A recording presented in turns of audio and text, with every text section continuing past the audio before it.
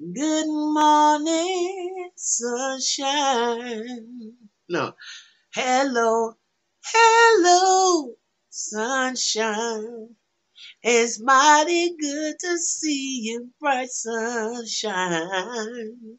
Hey, hey, y'all. Good morning. How you doing?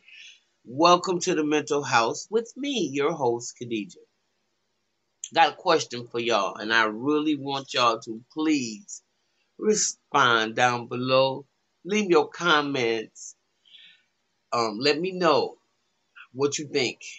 Please answer this question because I am doing a um a, a, a survey. Okay, and the question is: Do you think parents should apologize to their children? Do you ever think that that's necessary, or do you feel like you're the boss and you pay the bills and you'll never ever apologize to a kid?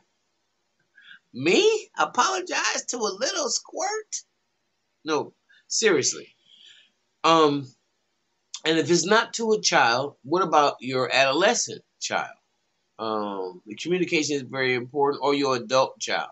What happens when your adult child looks at you or comes to you and tell you certain things about your parenting style that they had a problem with? Um, they didn't like. Uh, they thought it was disrespectful or abusive. Um, how do you handle that conversation? Mm. That's what I want to talk about today. And I want y'all to be honest about that. Because, see, it is right there is where all this craziness kind of like lies. Because, you know, a lot of people are, are, are really down in like, or, or uh, talk bad about Charlemagne, saying because this mental health kick and he's on this stuff. And what y'all got to realize is once you get away from the madness for a minute and you can even have a different situation where you're not just surviving, surviving, and always in that mode, you start to see just how dysfunctional we are as a group. And we try to use that dysfunction as a common thread to say that it's blackness or it's how we get down or um, and it may be, but is it healthy? You know, it is that why a lot of us are having strokes and stuff so early. Not just the diet, it's the pressure and the way we are being raised. Those of us who have mothers that are always screaming. So from the time you're a little teeny baby to the time you come up, all you hear is her fussing and screaming. Can you imagine how those vibrations in that house are? Uh, I mean, and I'm not saying you're gonna have a house that's perfect. I've yelled in my house before, so you know I'm not trying to go. Ooh. My point is, that's the difference between a, kids that see dysfunction and fighting and yelling and screaming and disrespect and drug use and all that every alcoholism every single day. So maybe you stop using drugs. Maybe you don't um, party the way you used to do. But you drug all your children through all that garbage. And now you're a great grandmother, a grandmother.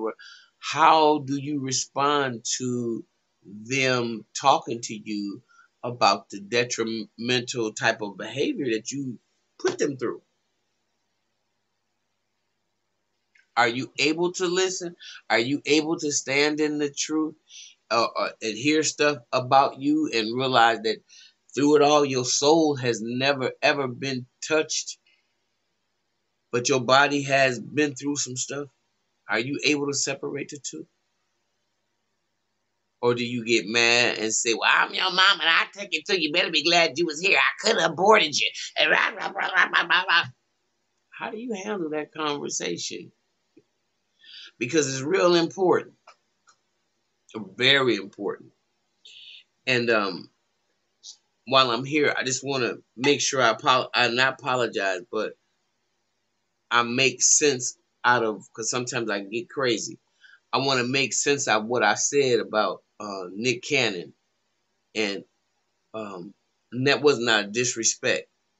It was only out of, um, and I'm just mentioning it right here because it's popping on my dome. It's only talking about. It was to talk about that dark skin, light skin, even treatment of us in our community. Okay, bam. So I'm going back away from there, or I'll forget the rest of my thought. Um, how do you communicate with your adult children? And do you create an environment where they can talk to you and tell you and be open and honest about what's going on in their lives?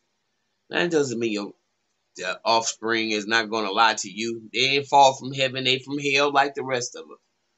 But I know I used to always tell mine, I'd be like, look, whatever you did, I just want to tell you this right now, whatever it is. And, and I mean, since they were like maybe five for six, I don't know, little bitty tots. Whatever you did, and you get scared, and you don't want to tell me the truth, just know that I love you so much that I'd rather hear from you than anybody in the world. So if it's something that you got in trouble about, and if it's something that you know that they're gonna call me about, or something that you don't feel comfortable, know that if I hear it coming from you first, and you telling me the truth, even if your behavior was not what it was supposed to be, because you know the difference of what you, you know, what's right, what's wrong, and so short of that, if you the one that's telling me, even if you lied to them, if you did something bad to them, you be the one to tell me the truth and don't let it be somebody else. Then we can get through anything that life has to throw our way. And that's how we were raised.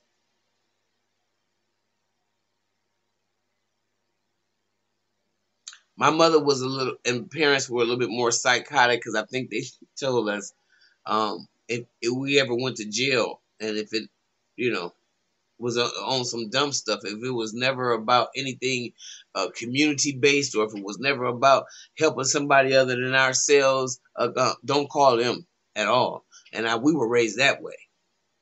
But that was different, and that's the way I tried to, um, again, deal with my family. How many of y'all have op- left an open environment to communicate with your children. And now that they're adult children, and that they're adult children alcoholics or, or, or, or crack user or ex cocaine user, whatever, how is it hearing back from your offspring your behavior, how it affected them, and is it a constant on the hamster wheel argument every time y'all get together? Or do you have enough tools in your shed as my sister Lisa said, um, do you have enough tools in your shed where you can pull out a screwdriver when you really need one and don't pull out a hammer when you need a screwdriver? And listen to these conversations and learn a little bit and have some compassion and become uh, a little bit understanding and empathetic to why your offspring is in the condition or the behavior that they're in and without blaming your other significant partner, the other half of creating this person. Hmm? Unless that person is not around. So I just wanted to ask that question today because I really want y'all to answer me. I'm hoping y'all will give me your input on that because I'm getting a lot of emails and stuff about uh or talking to people say they and I know what they mean. They can't talk to their parents. They can't talk to their mother or their uh, black parents. We can't. They, we can't even talk to them. We just go on, and we put that on on top of our hurt, all that other stuff like that, because we're not even able to express what, to them what we feel about how they raised us or what they did or what they took us through or what happened to us on, uh, uh, um, because of them. Because remember, I always say children are hostages. They're hostages. You know. So are you ever asking the hostage how he feels? Gotta think about it. So that's my question for this morning. I hope y'all, oh, please, please, y'all answer me. Good morning to some of these uh, new subscribers as well. I want to say welcome to you.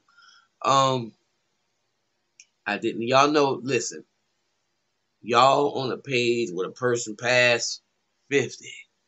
So there's sometimes I remember some things, and there's sometimes, but y'all always in my heart, and I'm always appreciative of just coming by here, my page, because that's why I'm still looking for a virtual assistant because I have um uh, um so many things that I'm able to do, and it just takes a lot of reading. And I didn't grow up in the computer generation, so um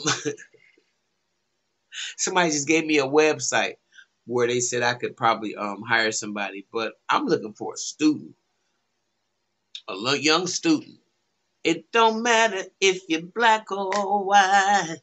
I need to be helped or or um I need to pay you to you know do some editing and things for my channel. You know, and I like I said, I basically really would rather have a young person. Um so with that being said, um I I would like for y'all to like this video. I would like for y'all to share this video and subscribe to my channel. Hit the little bell if you haven't, um, unless you just don't give a damn.